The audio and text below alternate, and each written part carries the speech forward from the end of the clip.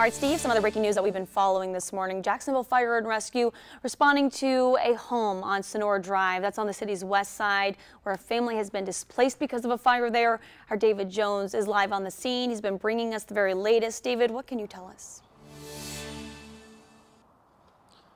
Hey, Shelby, good morning. At this point, a lot of responders have cleared the scene, although investigators remain taking pictures and going inside the home to see the extent of the damage. Let's walk up right now and actually give you a live look at this home, much of which has been charred and is at this point unlivable. What you're looking at now is the carport area. That's actually where the fire started. A family of four, two children and two adults sleeping inside, woke up to the fire, went over to a neighbor's house and called 911. These pictures that you're looking at now are photos that we received that actually show the extent of this fire, which not only spread throughout this house, but also to a neighbor's house next door, breaking a window and charring a fence right next door to the home. At this point, 50% of this house was burned. JFRD was called out here about 4:45 this morning. They were here within 15 minutes, 15 units responding.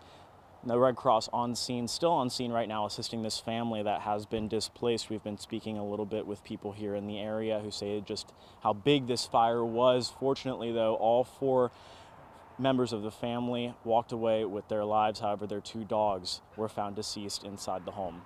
We're live on the west side this morning. David Jones, First Coast News, on your side.